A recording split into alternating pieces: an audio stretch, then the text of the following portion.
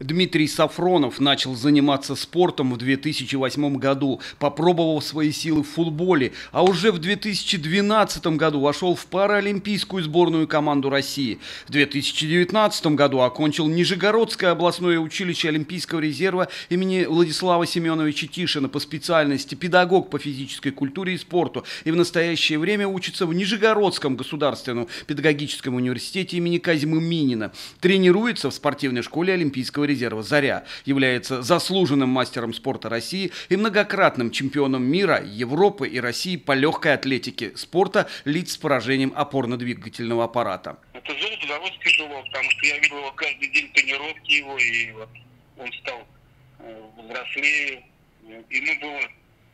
Он немножко как бы дворовый парень, дворовый. Потом перерос взрослого человека. Второй институт уже у него. Как бы мы его помогаем школе 37 у нас воспитанник наш. А в Токио на Паралимпиаде наш земляк преодолел дистанцию за 11,39 секунды и установил новый мировой рекорд. Тяжело, я думаю, что, наверное, нелегко. Ну, старался, достиг результата, молодец. Он мне звонил, показывал медаль, сказал, тяжелая медаль. Глава города Дзержинска Иван Носков аргументировал успех Дмитрия Сафронова тем, что он не просто завоевал золото, но и покорил новый мировой рекорд. Необходимо поблагодарить тренера Галину Кошелеву, которая вместе с Дмитрием прошла весь спортивный путь и как никто другой знает цену завоеванной победы. Владимир Смирнов. Время новостей.